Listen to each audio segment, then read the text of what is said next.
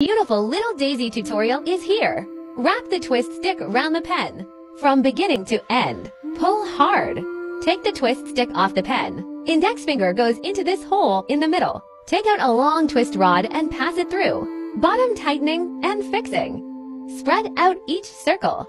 Pinch it and fix it. Each one needs to be adjusted like this.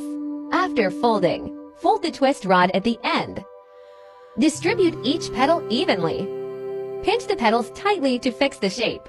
Then pinch the petals up again. A small flower is ready.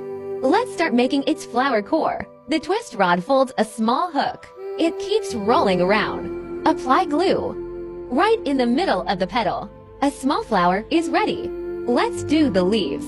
Fold the two twists in half. One goes through the middle, crossed together. Take this twist stick on the side. Fold up. One centimeter folded down. You need to fold twice. Use the same method on this side. Fold it and cross it together. Fix it in a circle. Leaf pinch the arc. Then it's just free assembly. Put on the leaves and continue to assemble. The beautiful little daisy is ready.